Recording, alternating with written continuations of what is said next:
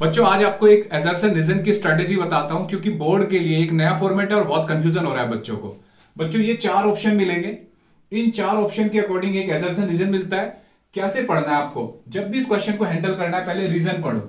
Reason पढ़ो, क्योंकि reason हमेशा किसी बेसिक कंसेप्ट या लॉ पे होता है, जो आपको जनरली पता होता है। एजर्सन कभी नहीं पढ़ना पहले। पहले रीजन पढ़ो। Electric field is equal to the negative gradient of potential आपको याद आ गया हाँ भाई।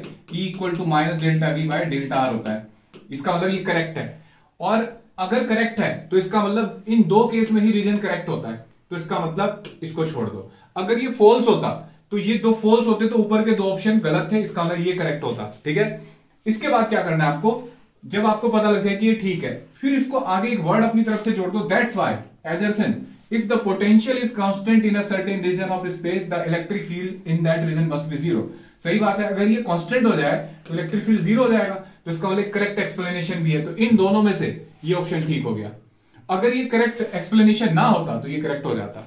तो हमेशा कोई भी सब्जेक्ट हो आपका, हमेशा पहले रीजन पढ़ेंगे रीजन पढ़ते ही दो ऑप्शन अलग हो जाते हैं, दो बचे, उनमें से फिर चेक करेंगे दैट्स फाइव लगा के। अगर दैट्स फाइव को सूट कर रहा है तो इसका मतलब सही है ऑप्शन तो ए ऑप्शन होगा अदरवाइज़ बी ठीक है?